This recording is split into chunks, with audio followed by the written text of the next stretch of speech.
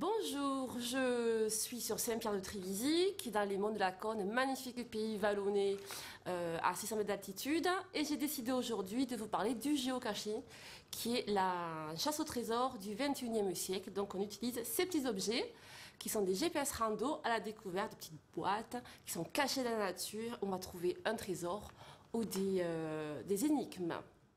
Alors c'est un excellent moyen de faire marcher les enfants, ça c'est un jeu qui se fait en famille. Donc les enfants sont de suite très preneurs de cette activité-là, puisqu'on va découvrir un petit trésor, ça peut être euh, euh, une petite balle, un petit bracelet. Ils sont toujours à fond, et moi les miens, euh, ils adorent ça. Et chaque semaine, ils me disent, allez maman, on va faire du géocaching quelque part